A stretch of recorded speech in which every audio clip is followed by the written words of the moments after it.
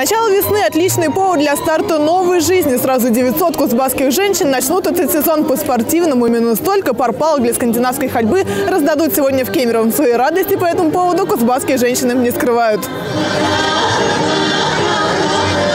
Вот нам палочки дают скандинавские, будем спортом заниматься еще больше. Ирина Ревука о таком спортивном инвентаре мечтала давно. Скандинавской ходьбой занимается уже несколько лет, правда, профессиональные палочки приходилось заменять лыжными. Теперь женщина уверена, с таким подарком к 8 марта и собственные рекорды по пройденным дистанциям побьет, и главное, здоровье поправит. Сегодня впервые, да, попробовали Да. с палочками пойти поделиться ощущениями? Ну, во-первых, осанка выпрямляется, мне кажется, потому что спина вообще прямая становится, когда с палочками идешь. И вообще легко. Может быть, даже и похудеть возможно, что будешь больше ходить. Но я и так много хожу, я не люблю на автобусах ездить. Стараюсь все пешком по району ходить.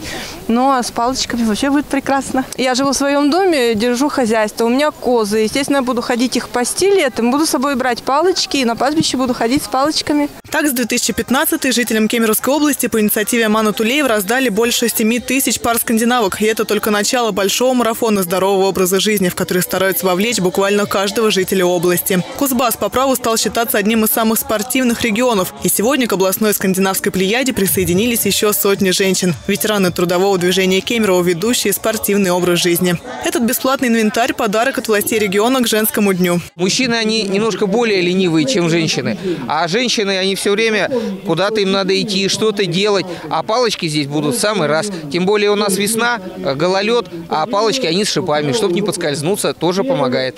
Кузбасским женщинам не просто вручили спортивный подарок, но и позаботились о его дальнейшем правильном использовании. Ведь при ходьбе, отмечают профессионалы, работает 90% мышц. Здесь же в Бару провели мастер-класс, и счастливые обладательницы скандинавок дружной толпой отправились преодолевать свою первую 300-метровую дистанцию.